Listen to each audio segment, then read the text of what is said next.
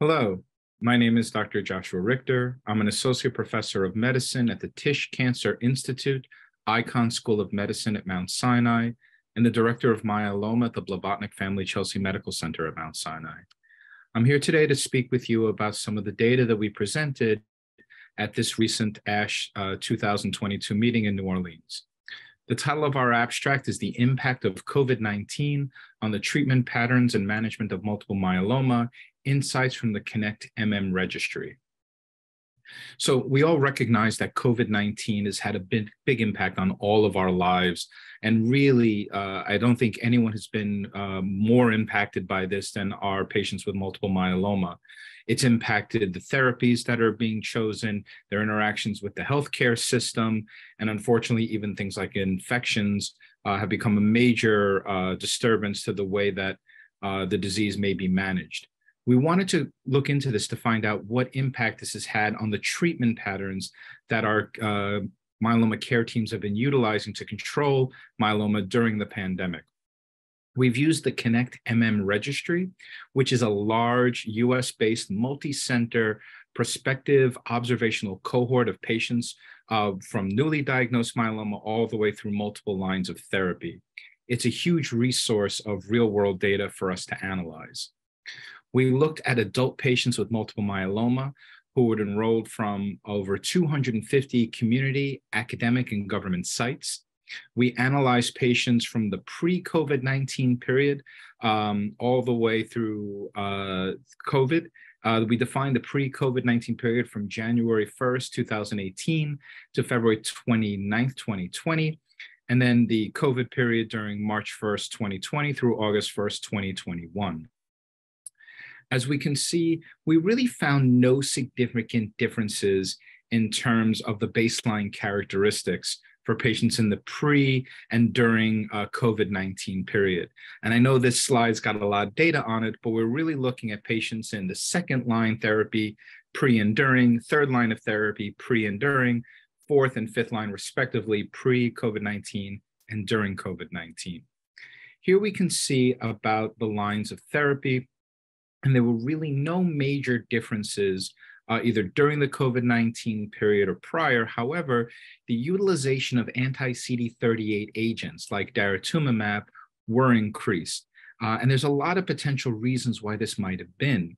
If we look at a lot of the drugs that we give in myeloma, at least looking at the parenteral ones, meaning things that are not pills, most of them require injections or infusions every one or even two weeks, whereas Darzalex can be stretched out to an every four week period. And we know anecdotally that during COVID 19, patients would be quickly ramped up to receive Darzalex once a month.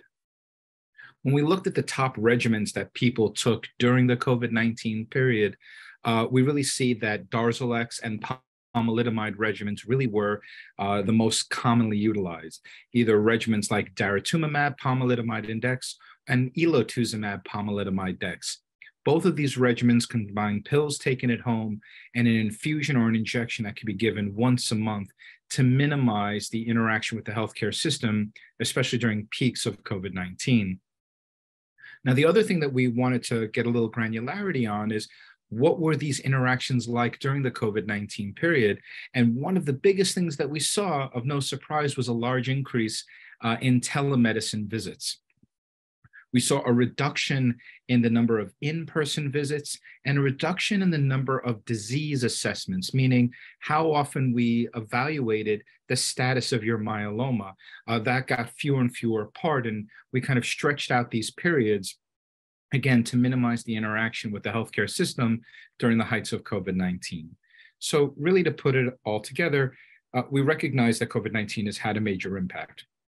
We looked at the real world evidence from community, academic, and government centers that were treated myeloma patients prior to COVID 19 and during. Overall, during the COVID 19 pandemic, patients had fewer in office uh, visits. They completed fewer disease assessments uh, and had fewer lab draws during this time. Uh, additionally, we felt that this was, of course, due to uh, the increase in telemedicine visits, um, in terms of therapeutic interactions or therapeutic choices, there wasn't a huge difference. However, there was a ramping up of anti-CD38 therapy. Uh, and we predict that a lot of this was due to, uh, again, trying to minimize the interaction with the healthcare system so to provide a very effective therapy, uh, but only give it once a month and not necessarily even check labs once a month so that we can give patients uh, the ability and safety to remain at home without having the potential risk of coming to infusion centers on a frequent basis. Now, ultimately, we're going to need longer follow up to figure out what these changes, uh, what effects they've had uh, on how we treat myeloma. Uh, obviously, telemedicine is going to continue. Uh, we're going to evaluate the effect of the transition to more CD38 based therapy during this time and what impact it has on later lines of therapy.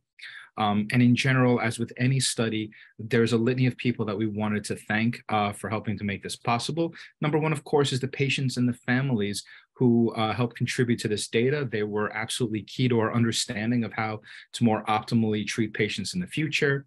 We'd like to thank the Connect MM registry co-investigators who participated in this evaluation. Um, this uh, registry and these studies are supported uh, by Celgene, which is a BMS company. Um, and overall, just want to thank everyone for uh, their participation and helping us better understand uh, multiple myeloma. Thank you.